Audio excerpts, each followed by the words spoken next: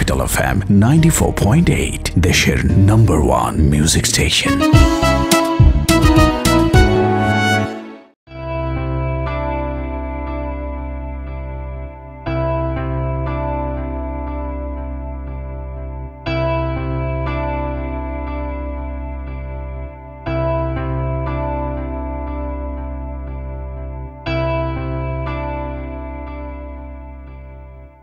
বই পড়তে আমরা সবাই ভালোবাসি, কিন্তু ব্যস্ততার জন্য তার হয়ে ওঠে কই।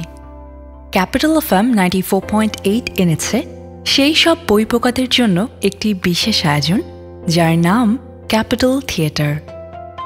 শুক্রবার রাত এগারোটায় শুধু কান পেতে শুনুন আর উপভোগ করুন বাংলা সাহিত্যের বিখ্যাত সব সৃষ্টিগুলো।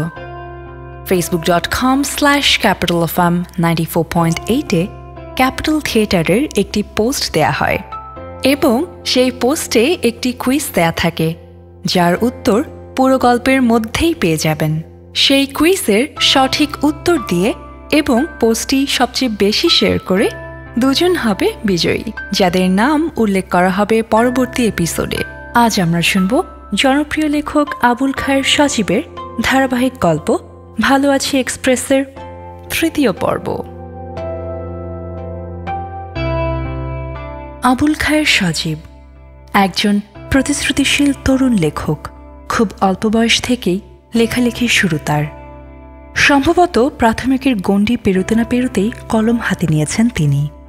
লিখে চলছেন অনবদ্যভাবে। সাহিত্যের প্রায় সব ক্ষেত্রেই তার বিচরণ। লিখেছেন গল্প, কবিতা, উপন্যাস। গীতিকার হিসেবেও পেয়েছেন সাফল্য। লিখেছেন নাটকও। কবিতা দিয়ে যাত্রা শুরু। এরপর গল্প আর উপন্যাস মিলে প্রকাশিত হয়েছে মোট আটটি বই। জীবন, জীবনবোধ আর ভালোবাসাময় লেখাগুলো ইতোমধ্যে পাঠকদের মধ্যে বেশ আলোড়ন সৃষ্টি করেছে। লেখার মাঝে তৈরি করতে চেয়েছেন নিজস্বতা, বারবার নিজেকে ভেঙেছেন, আবার গড়েছেন নিজেই। বিজ্ঞানের ছাত্র হলেও বাংলাকে হৃদয় ধারণ করেছেন অকৃত্রিম মায়ায়। বাংলা গান, বাংলা সাহিত্য আর বাংলা কথা যেন তার শেকড় জুড়ে। সিলেট কৃষি বিশ্ববিদ্যালয়ের অ্যাকুয়াকালচার বিভাগ থেকে স্নাতকোত্তর শেষ করে এখন কর্মরত আছেন শীর্ষস্থানীয় একটি বেসরকারি উন্নয়ন সংস্থায়।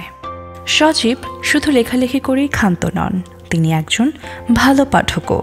বর্তমান প্রজন্মের প্রতিভাবানী লেখক জটিল কুটিলের সমাজে একটু ভালোভাবে বেঁচে থাকার জন্য পাঠককে প্রতিনিয়ত উদ্বুদ্ধ করে যাচ্ছেন সাবলীল লেখনীর মাধ্যমে। তার ভালো আছি সিরিজ ইতোমধ্যে বেশ জনপ্রিয়তা পেয়েছে। আর তারই সংকলন বের হচ্ছে এই বইমেলায়। রংপুরের ছেলে সজীব তার লেখনীর মাধ্যমে হতে চেয়েছেন সারা দেশের, সারা বিশ্বের। আর তাই বোধ হয় সফলতা ছাড়িয়ে তিনি হতে চান সার্থক। কণ্ঠ দিয়েছেন জাহান অরণ্য, মার্শিয়া রহমান, সাজিদুল তুষার আপেল মাহমুদ এমিল এবং এমডি মাহমুদুল হাসান অনি। সংগীত আয়োজনে রফিকুল ইসলাম ফরহাদ এবং পরিচালনায় জাহান অরণ্য। চলুন তাহলে এবার উপভোগ করি জনপ্রিয় লেখক আবুল খায়ের সজীবের ধারাবাহিক গল্প ভালো আছি এক্সপ্রেসের তৃতীয় পর্ব।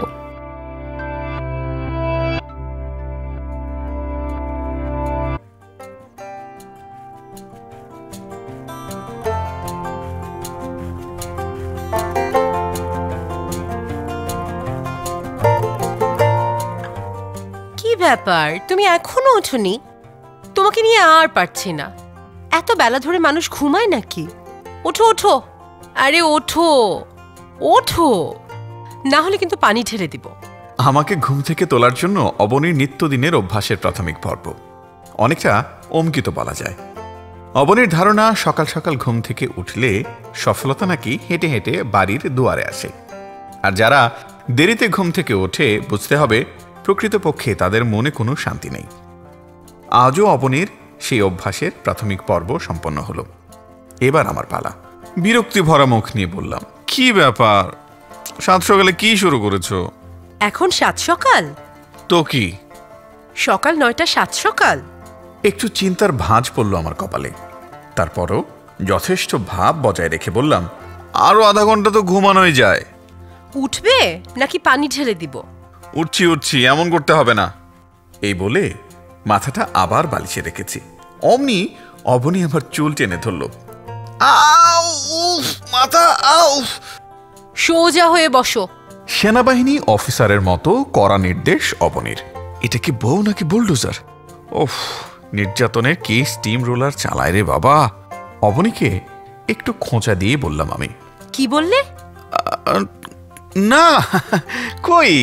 কিছু না তো। কে বলল? আমি তো কিছুই শুনতে পেলাম না। তুমি কিছু বলেছ নাকি? ঢং করো না। দাঁত দিয়ে ঠোঁটের এক কোণা চেপে ধরে মিছে রাগ ফুটিয়ে তুলল অবনী। অমনি আমি অবনীর ঠোঁটে একটা চুমু বসিয়ে দিলাম। তারপর গামছাটা কাঁধে বসিয়ে ওয়াশরুমের দিকে ছুটতে লাগলাম। পিছু ফিরে দেখলাম অবনী আমার দিকে তাকিয়ে মিষ্টি হাসছে। তা দেখে আমি গাইতে শুরু করলাম। স্বর্গ থেকে এসে জীবনে অমর হয়ে রয়। না না না না না না না না না না না না গাইতে গাইতে ওয়াশরুমে ঢুকলাম আমি ওয়াশরুম থেকে বের হয়ে নাস্তার টেবিলে বসলাম মুখোমুখি আমি আর অবনী রুটির সাথে জেলি মাখাতে মাখাতে অবনী বলল আজকে যে বাড়িতে যেতে হবে সে খেয়াল আছে? হুম সে তো রাত বারোটায়। কত কাজ বাকি আছে জানো? কিসের আবার কাজ?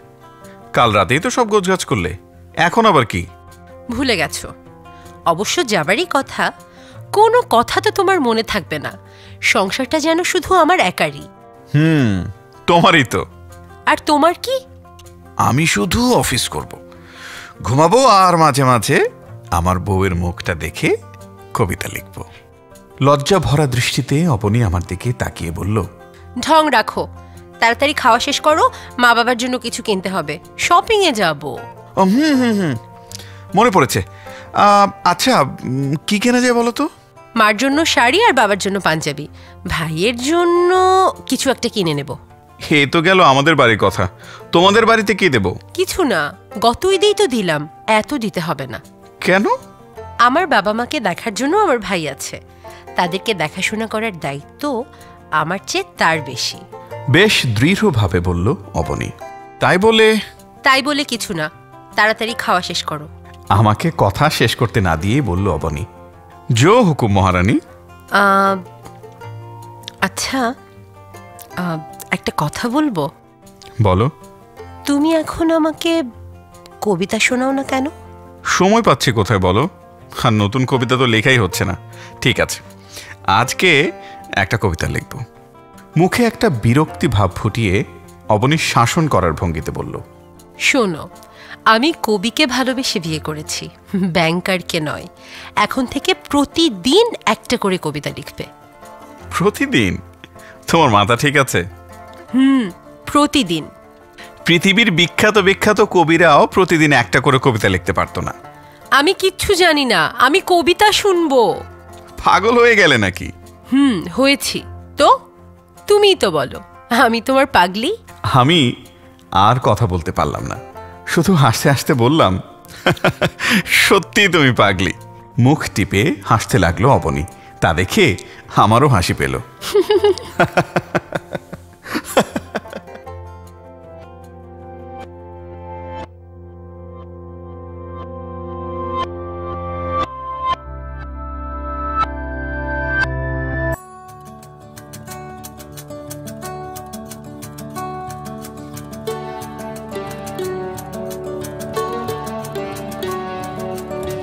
সারাদিন শপিং করে বিকেলবেলায় বাসায় ফিরলাম। তিন দিন পরে কোরবানির ঈদ। আজ রাত বারোটার গাড়িতে বাড়ির উদ্দেশ্যে রওনা হব। মা বাবা ভাইয়েরা অপেক্ষায় আছে। আমার চেয়ে অবনীর খুশিটা যেন অনেক বেশি। বারবার মাকে ফোন দিয়ে বলছে মা আমরা আসছি। মাও মুখ ভরে বলেছে বৌমা তাড়াতাড়ি এসো। তোমার জন্য এখনও গরু কেনা হয়নি। তোমার পছন্দ মতো গরু কিনবো। আসছি মা। এই তো বারোটার গাড়ি। সকাল সকাল পৌঁছে যাব। দোয়া করবেন মা। হুম সাবধানে এসো। সত্যি এই যুগে বউ শাশুড়ির এমন সম্পর্ক খুব একটা চোখে পড়ে না। আমার মার সাথে অবনীর এমন সম্পর্ক দেখে অবনীকে একদিন জিজ্ঞেস করেছিলাম অবনী মার সাথে তোমার কোনোদিন ঝগড়া হয় না কেন? এ আবার কেমন কথা? তুমি কি চাও নাকি? ঝগড়া হোক। বিস্ময় নিয়ে বলল অবনী না তেমনটা বলিনি। তবে এখনকার সময় তো এটা অনেকটাই বিরল। শোনো তোমাকে একটা কথা বলি। একসাথে থাকলে কখনো কখনো মনোমালিন্য হতেই পারে। সেটা খুবই স্বাভাবিক। তবে ঝগড়া কেন হয় সেটা আমি জানি। কেন? উৎসুক হয়ে জিজ্ঞেস করলাম আমি। মা যখন একথা ভাবতে থাকেন যে ছেলে বউকে পেয়ে আমাকে ভুলে গেছে কিংবা বউ যখন একথা চিন্তা করে আমি পাশে থাকার পরও আমার স্বামী এত মামা করে কেন? তখনই বউ শাশুড়ির মধ্যে ঝগড়া হয়। তাহলে এর থেকে পরিত্রাণের উপায় কি? উপায় খুব সহজ। যেমন? মা যদি মনে করেন যে ছেলেকে এতদিন কষ্ট করে মানুষ করেছি তার সুখ দেখব বলে। আজ তাকে দেখভাল করার দায়িত্ব দিয়েছি আরেকজনের ওপর। অতএব সে ভালো থাকলে আমার ছেলেও ভালো থাকবে। আর বউ যদি চিন্তা করে যে মহিয়সী নারীর কল্যাণে আমি আজ এমন একজনকে পেয়েছি যে আমার জীবনকে ভরিয়ে তুলেছে। তাহলে সে বউ কখনো মায়ের সাথে খারাপ ব্যবহার করবে না। ঝগড়া হওয়ার তো প্রশ্নই আসে না। মা আর আমি পরস্পরকে সেভাবেই বিবেচনা করি। তাই আমাদের মাঝে ঝগড়া হয় না। তবে মাঝে মধ্যে অভিমান হয়। আবার পরক্ষণেই ঠিক হয়ে যায়। আমি মুগ্ধ হয়ে অবনের কথাগুলো শুনছিলাম। একটা দীর্ঘশ্বাস ছেড়ে বললাম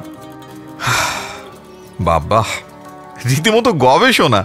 তো এখন তো তোমাকে আর বালিকা বলে মনে হয় না। অনেক বড় হয়ে গেছো দেখছি। না আমি বড় হইনি। আমি এখনও বালিকা। অভিমান করে বলল অবনী। আমি কাছে এসে অবনীর করতল ছুঁয়ে দুষ্টুমি করে অবনীকে বললাম ওলে বাবালে রাগ করে না। তুমি আমার বালিকা বউ। অবনী আলতো করে মাথা রাখল আমার বুকে। মনে হলো, এক রাস প্রশান্তির বাতাস ছুঁয়ে গেল আমাকে। রাত বারোটায় বাস ছাড়ল। ভাগ্যটা অনেক ভালো যে যথাসময়ে বাসটি ছেড়েছে। ঈদে ঘরমুখ মানুষের চাপে সব কিছুর শিডিউলই এলোমেলো হয়ে যায়। ভাগ্য বিধাতা সহায় থাকায় সবকিছু ঠিক হয়েছে আজ। বাসে উঠেই অবনী খুশিতে আত্মহারা হয়ে ফোন করল মাকে। হ্যালো, মা! বাসে উঠলাম মা। কখন পৌঁছাবে? এই তো সকালেই পৌঁছে যাব। দোয়া করো। সাবধানে এসো মা। খুশির আতিশয্যে অবনী হয়তো ভুলেই গেছে। ঈদের সময়ে বাস যথাসময়ে গন্তব্যে পৌঁছাবে কিনা সেই নিশ্চয়তা দেয়া যায় না। আজ রাতে মার ঘুম হবে না। সারা রাত জেগে থাকবে। কিছুক্ষণ পর পর ফোন করবে। কোথায় আছি জানতে চাইবে। অবনীরও একই স্বভাব। আমি কোনো কারণে কোথায় গেলে? যতক্ষণ বাস থেকে নামিনি, ততক্ষণ পর্যন্ত দু চোখের পাতা এক করবে না অবনী। নিরাপদে গন্তব্যে পৌঁছানোর খবর শুনেই তবেই যেন তার হৃদয় শীতল হয়। দু চোখে নেমে আসে শান্তির ঘুম। বাসে উঠলে অবনী জেগে থাকতে পারে না। আমার কাঁধে মাথা রেখে ঘুমিয়ে পড়েছে অবনী। অবনী ঘুমাক। এই ফাঁকে অবনীর সাথে আমার সম্পর্কের শুরুর গল্পটা জেনে নিয়ে চলুন। অবনীর সাথে আমার প্রেম হয় যখন সে এসএসসি পরীক্ষার্থী। তার বছরখানেক পরে তাকে বিয়ে দেবার জন্য চাপ দেয়া হয় পরিবার থেকে। অবনী রাজি হয় না। এক পর্যায়ে আমার কথা বলতে বাধ্য হয় সে। তারপর থেকে ঘটনা অন্যদিকে মোড় নিতে থাকে। আর আট দশটা পরিবারের মতোই তার পরিবারও মেনে নেয়নি বিষয়টি। মেনে নেয়নি আমাকে। অবশ্য আমার মতো চালচুলোহীন বেকার ছেলেকে এমন সুন্দরী মেয়ের জন্য মেনে নেওয়াটা অস্বাভাবিকই বটে। আমাকে ভুলানোর জন্য সব রকম চেষ্টাই করা হয়েছে, কিন্তু অবনীর দৃঢ় মানসিকতার কাছে পেরে ওঠেনি তার পরিবার। তারপর কেটে গেল আরও এক বছর। ইন্টারমিডিয়েট পরীক্ষার আগে আবার হয়তো বিয়ে দেবার জন্য চেষ্টা চালানো হয়। ভেবেছিল, এতদিনে হয়তো আমার ভূত তার মাথা থেকে নেমে গিয়েছে। কিন্তু এবারও ব্যর্থ হয় তারা। তাদেরকে ভুল প্রমাণিত করে অবনী। এক পর্যায়ে অনেকটা রেগে গিয়েই তার পরিবার থেকে বলা হলো তাহলে তুমি তোমার পছন্দের মানুষের কাছে চলে যাও। আমাদের সাথে কোনো সম্পর্ক থাকতে পারবে না। জবাবে অবনী বলেছিল যেতে হলে তো অনেক আগেই যেতে পারতাম। কিন্তু তোমাদের সাথে নিয়ে সবার ভালোবাসা নিয়ে নতুন জীবন শুরু করব বলেই তো এতদিন অপেক্ষা করেছি। তারপর তার বাবার কাছে এসে অবনী বলেছিল আমার কথাটা রাখবে না বাবা? অবনীর বাবা আর কথা বলতে পারেননি। তার দু চোখ বেয়ে গড়িয়ে পড়েছে অশ্রু। মাথায় স্নেহের হাত বুলিয়ে দিয়েছেন অবনীর। আর দৈবক্রমে আমার বাড়িতেও সবাই রাজি হয়ে গেল। অবনীকে প্রথম দেখাতেই আমার মায়ের এইরকম পছন্দ হয়ে যাবে তা আমার দূরতম কল্পনাতেও ছিল না। এর মাঝে আরও অনেক ঘটনা আছে যা ছিল অনেক কষ্টের, অনেক বেদনার। যাই হোক, সেসব কথা আপাতত থাক। চলুন, আমরা বাড়ির দিকে যাই। বাস ছুটে চলেছে গন্তব্যের দিকে। আমার কাঁধে এখনও অবনীর মাথা রাখা। দেখেই বোঝা যাচ্ছে, দারুণ প্রশান্তিতে ঘুমাচ্ছে সে। অবনী বারবার করে বলতো, তোমার বুকে মাথা রেখে ঘুমাতে আমার খুব ভালো লাগে। প্রথম তো আমার বুকে মাথা না রাখলে অবনীর ঘুমই আসতো না। আমার মনে হতো, আমার প্রশান্ত বুকে ছোট একটা টুনটুনি পাখি তার সমস্ত ভালোবাসা দিয়ে ছোট্ট সুখের নীড় গড়ার চেষ্টা করছে, যে নীড়ের প্রতিটি খড়কুটো ভালোবাসার, বিশ্বাসের, সম্মানের অঙ্গীকারের। মাথায় হাত বুলিয়ে দিলাম অবনীর একটু নড়ে চড়ে যেন সে আরও দৃঢ় আসন গড়ল আমার কাঁধে। এই অন্ধকারে অবনীর মুখের দিকে তাকিয়েও যেন স্পষ্ট দেখতে পেলাম তার মুখখানা। মনের ভেতর কোথায় যেন একটা শিহরণ খেলে গেল। আনমনে বলতে শুরু করলাম, আমি রইব তোমার পাশে। যদি কখনো ঝড় আসে হৃদয় দকুল ভাঙে, সেদিনও রইব তোমার পাশে। সুখে দুঃখে বিরহ হরসে নিদ্রায় জাগরণে আমি রইব দেখে নিও।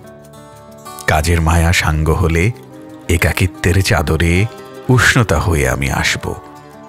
দু একটি জোনাকে পোকা হাতে ধরে আমি আসব। দেখে নিও। শুধু কথা দাও। সব সময় টুনটুনি পাখি হয়ে আমার বুকে নীর করবে। প্রিয়তম বালিকা, তুমি কথা দাও কথা দাও। অবনী আবার একটু নড়ে চড়ে উঠল। এই কবিতা সে কি শুনল? হয়তো শুনল না। কিন্তু তাতে কি? টুনটুনির তো তার নীর গড়েই চলেছে। সুখের নীর, স্বপ্নের নীর।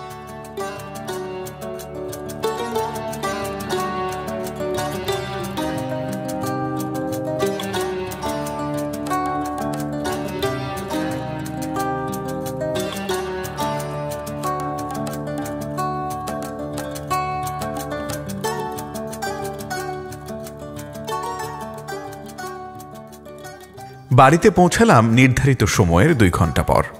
আগে থেকেই মা বাড়ির বাইরে অপেক্ষা করছিল। বাসস্ট্যান্ড থেকে রিকশায় আমার বাড়ি বিশ মিনিটের পথ। মাকে দেখেই অবনী দৌড়ে গিয়ে মাকে জড়িয়ে ধরল। বৌমা বলে মাও জড়িয়ে ধরল অবনীকে। কেমন আছো মা? মার মুখে কোনো কথা নেই। দু চোখে অঝোর শ্রাবণ।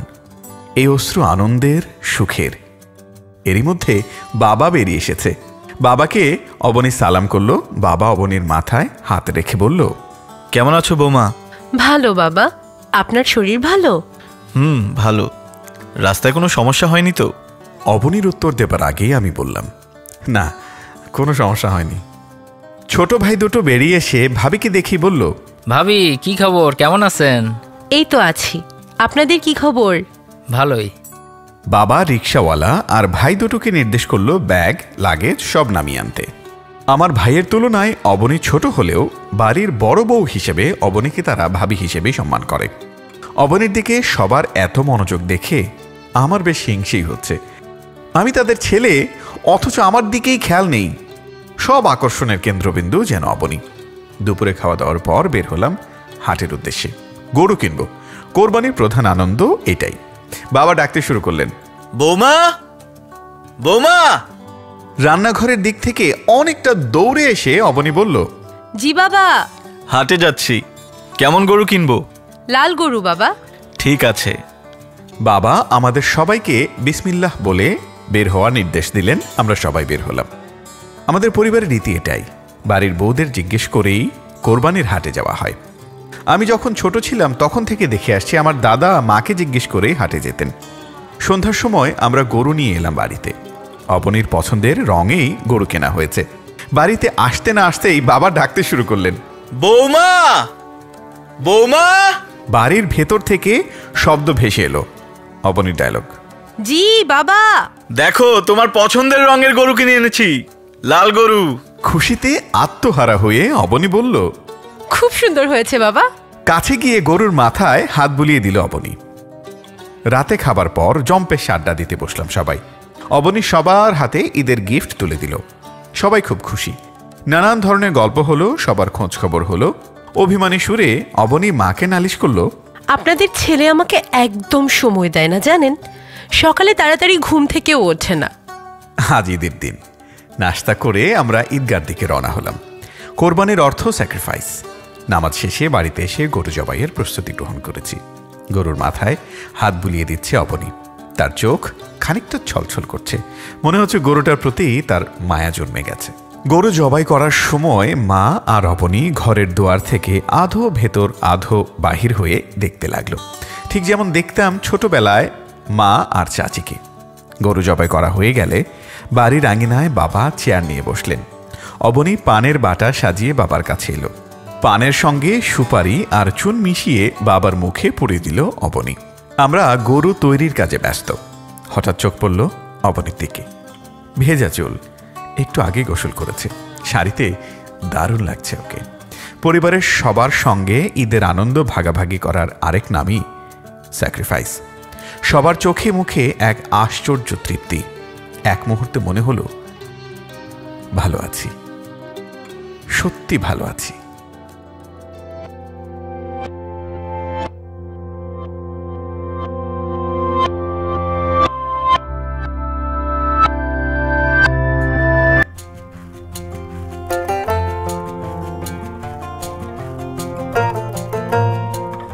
আজ যেন সময়টা কাটতেই চাইছে না।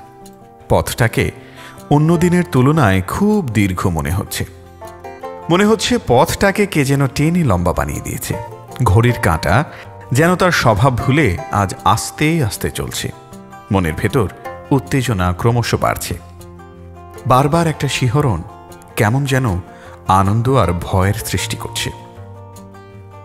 বাসের ভেতর থেকে জানলা দিয়ে অস্থির চোখে তাকিয়ে আমি।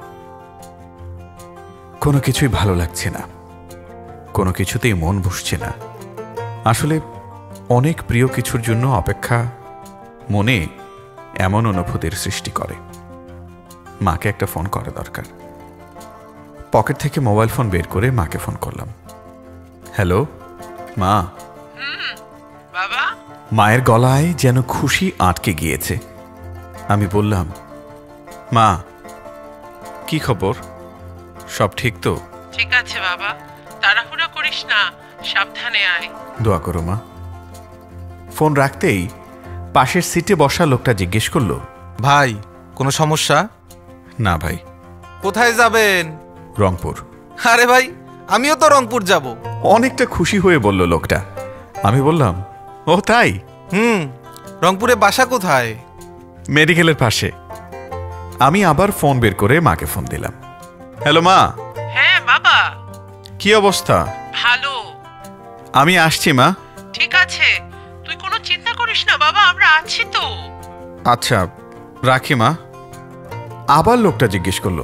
ভাই কোনো সমস্যা? না ভাই অনেকটা বিরক্তি নিয়ে বললাম আমি। আমার বিরক্তি ভরা মুখ দেখে লোকটা দমে গেল আর কোনো কথা বলল না। আমি আবার জানলা দিয়ে অস্থির দৃষ্টিতে পৃথিবীটা দেখতে লাগলাম। মনের ভেতর হাজারো আনন্দ খেলা করছে। দিক বিদিক জ্ঞান হারিয়ে ফেলেছি আমি। আনমনে সৃষ্টিকর্তার প্রতি দুহাত উঠে গেল। মনে মনে বলছি সব কিছু ঠিক করে দাও খোদা। তোমার কাছে অনেক দিন কিছু চাই না। আমার শুধু এই আশাটা পূরণ করো খোদা।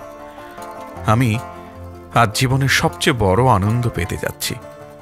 আমাকে আমাকে কোনোভাবেই বঞ্চিত করো না। Please please please. গাড়ি যাত্রা বিরতি দিয়েছে এখন সিরাজগঞ্জ রোডে। এখান থেকে রংপুর কমপক্ষে সাড়ে তিন ঘণ্টার পথ। ঘড়ির দিকে তাকাতেই বিরক্তি বেড়ে গেল। কোনো কিছুই ভালো লাগছে না। সকাল থেকে কিছু খাওয়া হয়নি। এখনও কিছু খেতে ইচ্ছে করছে না। ফোন করলাম ছোট ভাইকে। হ্যালো? হুম বলো। কি খবর? এই তো ভালো। সব খেয়াল রাখিস। ওকে ঠিক আছে। তুমি চিন্তা করো না। আচ্ছা ঠিক আছে। ফোন রাখতেই আমার কাঁধে একটা হাতের স্পর্শ অনুভব করলাম। ফিরে দেখি আমার পাশের সিটের লোকটি। ভাই কোনো সমস্যা? আরে না ভাই। দ্বিগুণ বিরক্তি নিয়ে বললাম। পান খাওয়া খয়েরি দাঁত বের করে হেসে চলে গেল লোকটা। গাড়িতে গিয়ে বসলাম। বাস ছেড়ে দিল। ঘড়ির দিকে তাকালাম আবার। জানালার দিকে আবার অস্থির দৃষ্টিতে তাকিয়ে আমি। অবনীর মুখটা ভেসে উঠল মনের পর্দায়। মনে পড়ছে গত রাতে ওর সাথে বলা ফোনের কথাগুলো। হ্যালো সোনা। হুম? তুমি কবে আসবে সোনা? মিনতি করে বলল অবনী আমার কি আসতে ইচ্ছে করে না শোনা কিন্তু কি করব বলো? প্রাইভেট চাকরি ছুটি পাচ্ছি না তো। আমি কিচ্ছু জানি না। তুমি আসো। অভিমান করে বলল অবনী আসব শোনা কবে আসবে? তোমাকে খুব দেখতে ইচ্ছে করছে। আসব। আসব? কেঁদে ফেলল অবনী আমি বললাম কি হলো? কি হলো? কাঁদছো কেন? আচ্ছা এমন সুখের সময় কেউ কাঁদে নাকি? আমি আসব কালই আসব। ছুটি না পেলেও আসব। তুমি দেখে নিও। প্লিজ তুমি তাড়াতাড়ি আসো। এত সব ভাবতে ভাবতেই ভাবনার গহিনে ডুবে গেছি। হঠাৎ আবার ফোনটা বেজে উঠল। বাবা ফোন করেছে। আমি বললাম হ্যালো বাবা? কোথায়? এই তো বগুড়ায়। আড়াই তিন ঘণ্টা লাগবে। সাবধানে এসো চিন্তার কিছু নেই। পাশের লোকটি একগাল হেসে আবারও জিজ্ঞেস করল ভাই কোনো সমস্যা? আমি বললাম দূর মিয়া বারবার এক কথা জিজ্ঞেস করছেন বললাম তো কোনো সমস্যা না। স্বভাবসুলভ ভঙ্গিতে লোকটি হেসে বলল অত চিন্তা করবেন না সব ঠিক হয়ে যাবে উপরে তো একজন আছেন। গত মাসে অবনীকে বাড়িতে রেখে এসেছি। আমার প্রথম সন্তান আসবে পৃথিবীতে। আমি বাবা হব। আমার কাছে এটা এটা যে কত বড় মুহূর্ত, তা আমি বলে বোঝাতে পারব না। আমার কাছে অবনীকে দেখাশোনা করার কেউ নেই। তাই বাড়িতে রেখে এসেছি। তাছাড়া বাবার কড়া নির্দেশ আমার প্রথম সন্তান যেন বাড়িতেই হয়। আল্ট্রাসোনোগ্রাম করাইনি আমি। আগে ভাগে জানতে আমার ইচ্ছে হয়নি। তবে প্রয়োজনীয় চিকিৎসা, নিয়মিত চেক আপের কোনো অবহেলা আমি করিনি। আমার খুব ইচ্ছে, আমি কন্যা সন্তানের বাবা হব। গত মাসে অবনীকে বাড়িতে রেখে যখন চলে আসব, তখন অবনীকে খুঁজে পাচ্ছিলাম না। খুব চিন্তা হচ্ছিল তখন, কোথায় গেল, অসুস্থ মানুষ।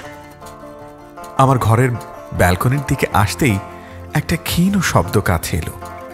কাছে গিয়ে দেখলাম, অবনী একটা হেলান দেয়া চেয়ারে বসে পেটে হাত রেখে আনমনে বলছে, তুই কবে আসবি সোনা?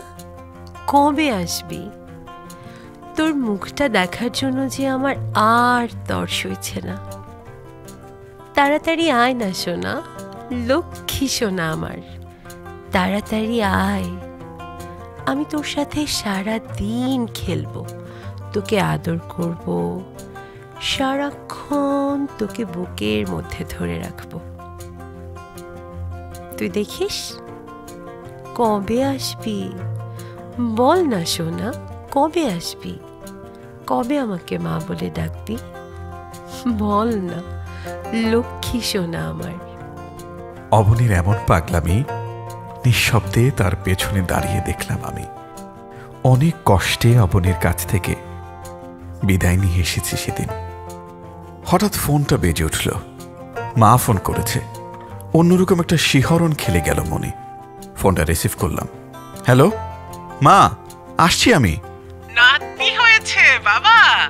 পাশ থেকে কান্না শুনতে পেলাম আমার আগামীর। সবাই সুস্থ আছে তো মা? উচ্ছ্বাসে আমার আমার কথা আটকে যাচ্ছিল। হ্যাঁ বাবা সবাই সুস্থ। ইয়াহু! থ্যাঙ্কস খোদা। বাসের ভেতরে চিৎকার করে উঠলাম। সবার দৃষ্টি তখন আমার দিকে। আমার পাশে বসার লোকটি সবার উদ্দেশ্যে বলল আমারে ভাইয়ের একটা ফুটফুটে কন্যা সন্তান হয়েছে। বাসের সবাই আমাকে অভিনন্দন করল। খুশিতে থ্যাংক ইউ জানাতেই ভুলে গেছি। সবার চোখে মুখে খুশির আভা দেখে অনেক দিন আগে পড়া ফেসবুকের একটা লেখার কথা মনে হলো। সন্তান জন্মের দিন পৃথিবীর সব বাবার যাবতীয় পাগলামের সাতক্ষণ মাফ। এক মুহূর্তেই পাশের লোকটাকে জড়িয়ে ধরলাম। খুব আপন মনে হলো তাকে। বাড়িতে পৌঁছাতে বিকেল পাঁচটা হয়ে গেল। মার ঘরে অবনীকে দেখতে গেলাম। আমাকে দেখে সবাই উঠে চলে গেল। অবনী আর চোখে আমাকে দেখে অভিমানের ভান করল। আমার দিকে আর তাকাচ্ছে না। সব নজর তার মেয়ের দিকে। মেয়েকে পেয়ে যেন আমাকে ভুলে গেছে। আমি বললাম, আমাকে একটু দাও। মেয়েটা তো আমারও। না, শুধু আমার মেয়ে। অভিমানী কণ্ঠে বলল অবনী আমি বললাম দাও না গো প্লিজ প্লিজ না দেব না।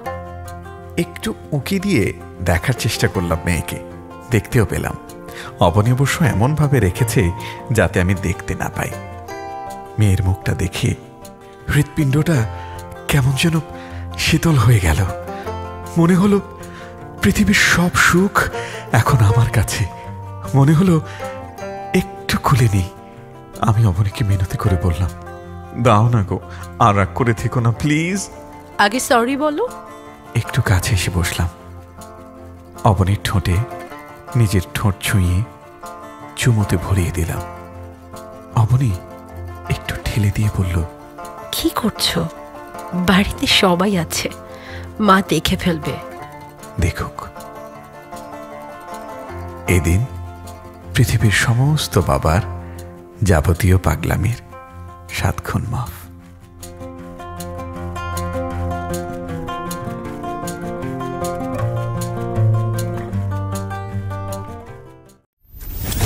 Capital পয়েন্ট 94.8 দেশের নম্বর ওয়ান মিউজিক স্টেশন